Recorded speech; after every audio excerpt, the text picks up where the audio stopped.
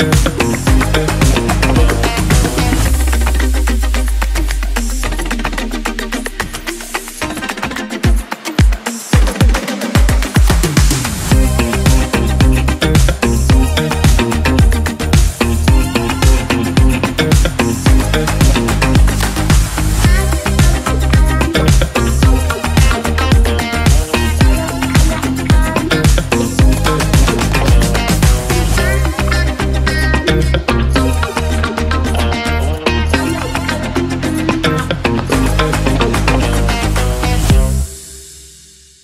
بالفعل كيف ما قلتي بأن المركب العربي الزاوية تم التأهيل ديالو من أجل أنه يستقبل المقابلات ديال الأندية ديال الرجاء والوداد يعني في البطولة الوطنية والبطولات الإفريقية إن شاء الله الرحمن الرحيم.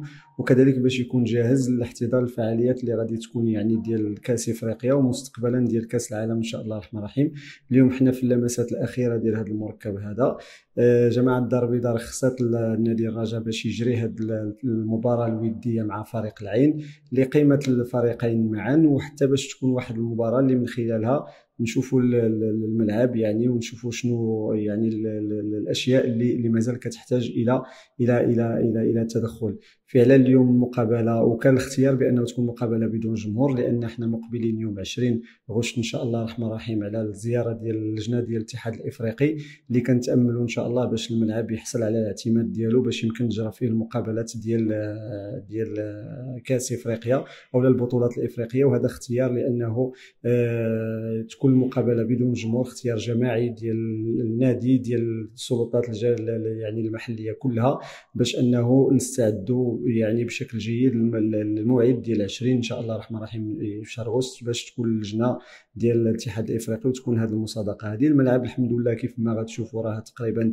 يعني جاهز. بقاو بعض اللمسات الأخيرة من بعد التسلم ديال الأشغال. يعني راه كتعرفوا ما هو تقني واحد المجموعة ديال الأمور. اليوم جماعة الدار البيضاء راه حاضرة بجميع الموظفين ديالها والأطر ديالها اللي عندهم تجربة يعني في التدبير ديال المقابلات.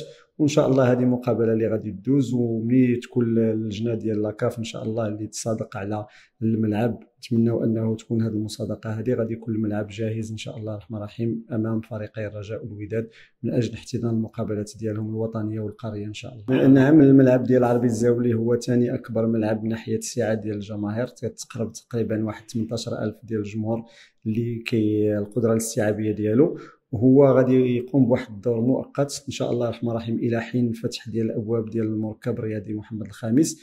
مركب رياضي محمد الخامس الأجل اللي هي مقررة لانتهاء جميع الأشغال هو نهاية دجنبر 2024 والأشغال غادا بواحد الوتيرة يعني جد متقدمة وحتى الزيارات اللي كنديروا له يعني بشكل أسبوعي يعني بالرئاسة ديال السيد الوالي مشكور اللي كيتبع هذا الملف هذا يعني عن قرب. هي زيارات تؤكد بأنه تقدم الأشغال غادي على جميع النواحي وانطلقت أخيرا الأشغال يعني في المسبح يعني اللي كاين تحت المدرجات في القاعة الرياضية وكذلك في الملعب الملحق.